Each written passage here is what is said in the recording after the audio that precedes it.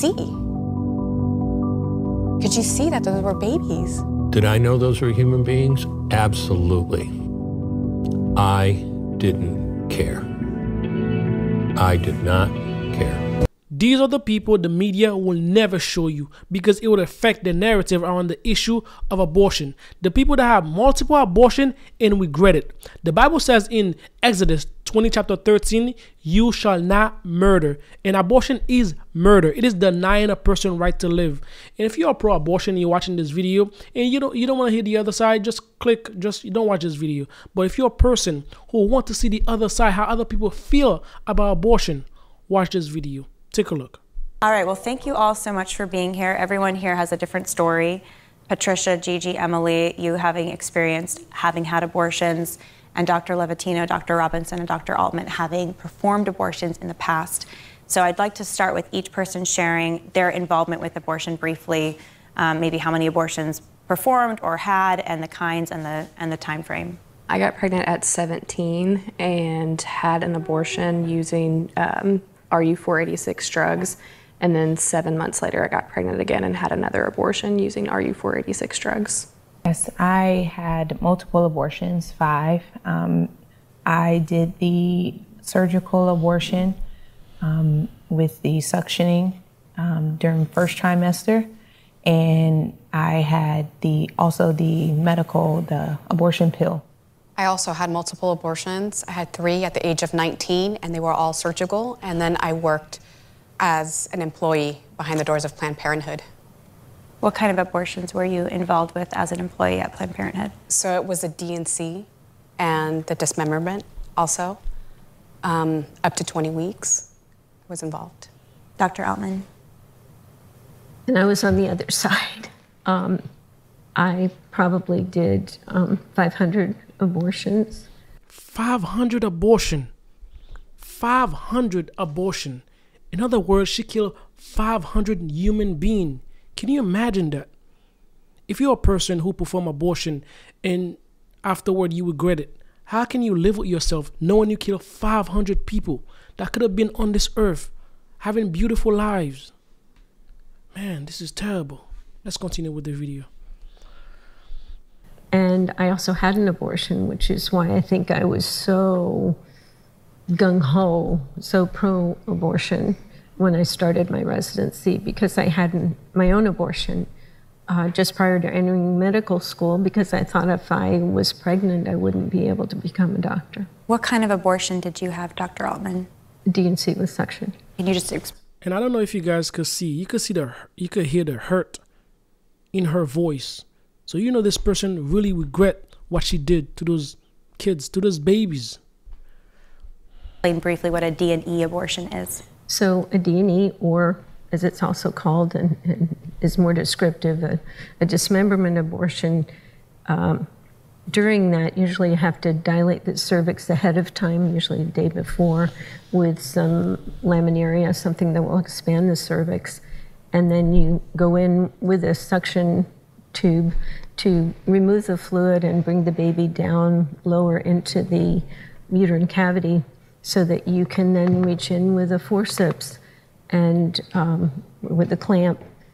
And you just try to grab whatever you can grab and pull and twist and it the cervix is um, smaller than the baby. So the, the baby will be held back and you, as you pull you can pull off an arm or a leg and once you've gotten all the arms and legs, then you try to go back. And I always tried to get the head next because if you got the thorax and pelvis and just left the head, you have this little round ball that's trying to get away from you. So I would try to get the head. And as Dr. Levatino has described in the past, you know when you've gotten the head because the white brains leak out. And then you know you've, you've gotten it and then you just try to make sure you get the placenta and uh, put all the body parts together. Now, I never did what they do at Planned Parenthood. I never sent that tissue to someone else to look at. I always stopped what I was doing, looked right then because I needed to immediately know before I let that patient out of the stirrups that everything was complete or she could come back with an infection or die.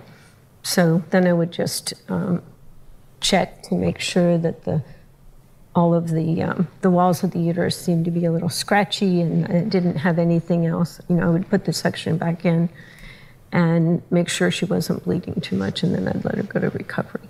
I was involved in abortion in my training as a resident, also moonlighting or sideline hustle in Southern California.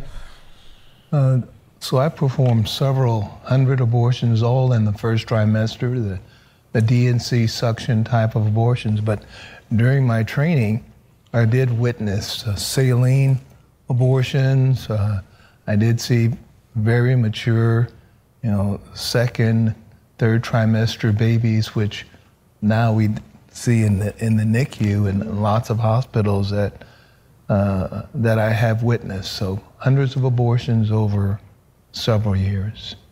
I learned to do first and second trimester abortions, including suction D&Cs and saline abortions during my residency program. Um, after I got into private practice over the next four and a half years, I performed almost 1,200 first and second trimester abortions, including suction D&Cs and suction D&E abortions.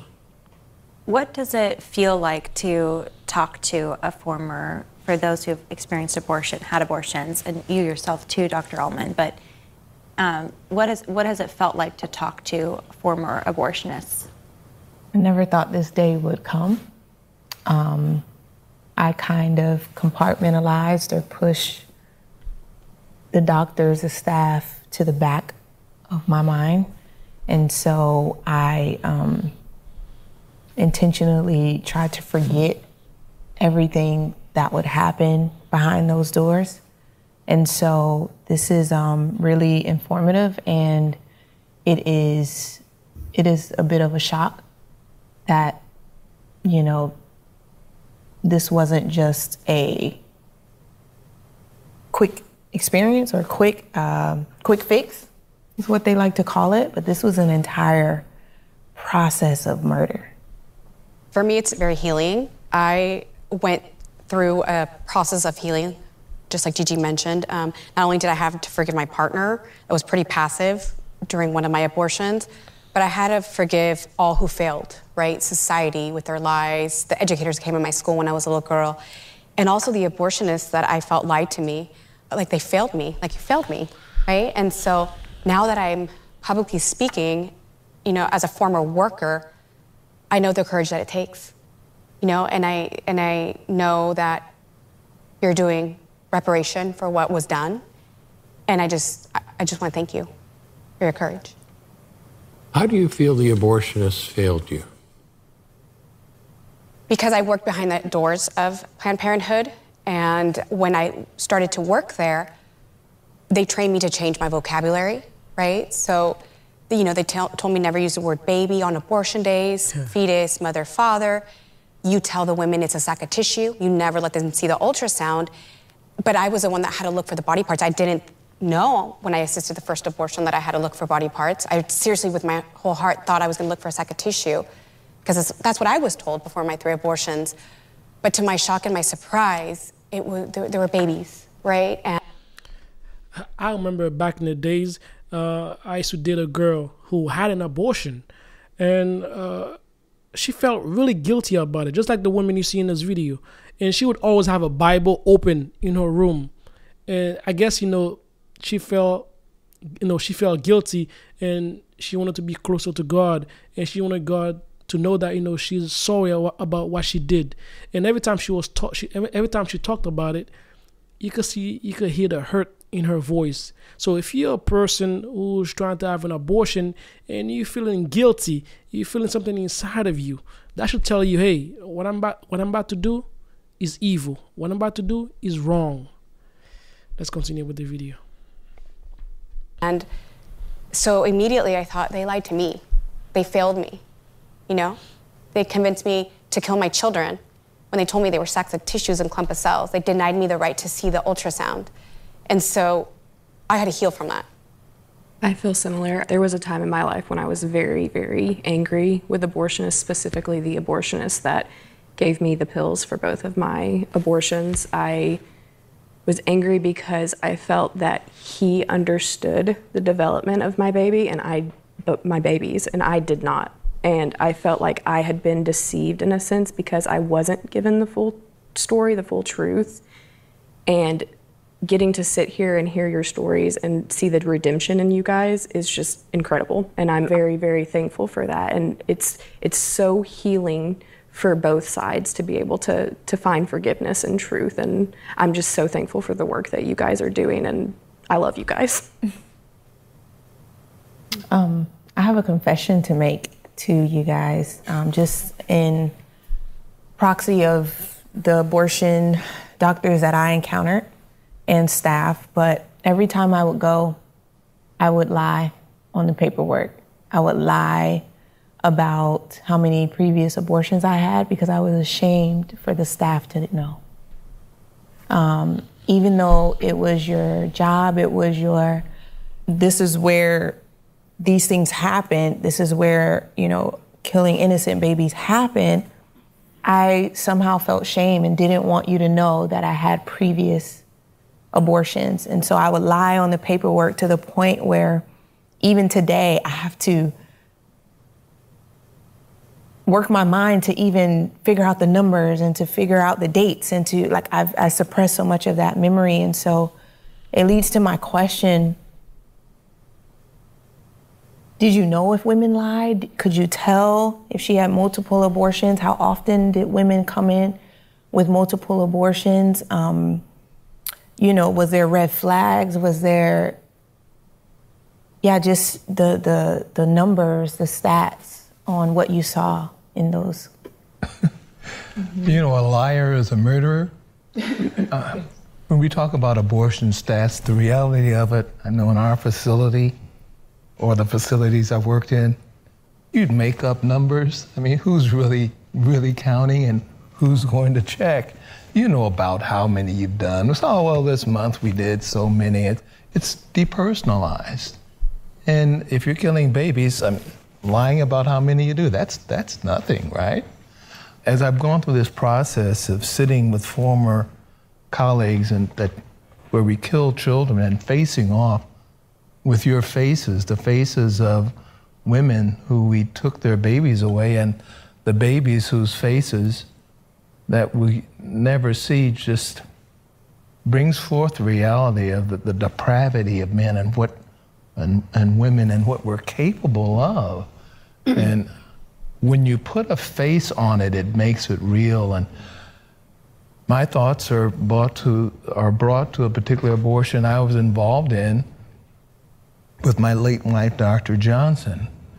He performed an abortion on her sister. Mm-hmm. We killed our niece or nephew. Mm-hmm. Each one of these abortions has a vast consequence. My niece or, or nephew would have been in their, in their 40s right now my sister in law had one child at the time. That child was killed in a boating accident. We killed, which would have been her only surviving child. And that sister in law is childless now because of the abortion we performed on her that should tell you a little bit about the capability and, and the depravity that we have within us that we know it's spiritual, but yeah, I take responsibility for that to be in that room and assist in the killing of a personal relative. And so it, it's a wake up call that we are fighting uh, an intense battle against a formidable enemy, uh, but we still have to take personal responsibility at the same time when I returned to do abortions after my baby was born, I did abortions throughout my pregnancy and with no regrets. But when I went back after my baby was born, I ran into three patients who changed my mind, and I could no longer kill babies just because they weren't wanted. The first one was a woman, a girl, who I had personally done three abortions on she was using abortion as birth control. And I went to the clinic manager and I said, I don't want to do this abortion. She's had three. I've done them. And she said, Well, that's her right. You have no say so. You need to do that abortion. I said, Well, that's easy for you to say. You're not doing the killing. I don't think I ever judged any of my patients prior to that. But at that point, I thought, no, this is this is this is wrong. And thankfully, for that girl, that was the beginning of the end for me. So I was thankful that you know, well, she couldn't have lied because she was in our records, and I knew I had done them. But somehow, for me, knowing that I had done three abortions on one woman, one girl, young girl, um, was unsettling. I have a question that I've always wondered. When I had to look for the body parts, the five pieces of the baby, the first time I knew that was a human being. Like the scales fell off my eyes, and I was literally in shock. And the abortionist came in to make sure that everything was in the petri dish, right? This big dish that we had. And he was whistling, and I remember him saying to everybody, What are we all gonna have for lunch? When before this abortion, he told me to tell the young woman it was not a baby, it was a sack of tissue. And I remember screaming inside of myself, How can he not see what I'm seeing? And my question is, did you, could you see? Could you see that those were babies? I can answer that for myself. I cannot speak for any other abortionist in the world. Did I know those were human beings? Absolutely. I didn't care. I did not care. For me, and I don't know the mechanism, I don't know the mental mechanism taking place, but for me, I guess I knew they were human, but it was very schizophrenic. But my my interest um, was extremely scientific. Um, I didn't see the difference between them and a chick embryo, you know, or a frog that we dissected. Um, I, I thought they were beautiful. I, again, I don't know how this is possible, but I had the same reaction as Abby Johnson that when I looked, I thought, oh, look at the little toes and look at the little fingers. They're so amazing. But somehow I didn't see them as little people, you know, that were worth caring caring about. You know, if the if the mom wanted her baby and she was miscarrying, I was distraught with her. But if if she didn't want her baby, then I was willing to dispose of that of that child, of that baby.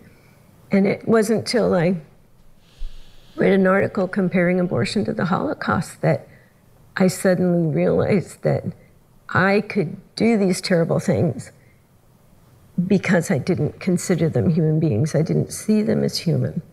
And, and you know, I guess more like animals. Although I can't imagine myself being willing to pull off the arms and legs of a little kitten, you know, I probably would have had more sympathy for them. But somehow there's this darkness that clouds your clouds your mind, and you can do things that you would never think possible. You know, I thought I was a good person.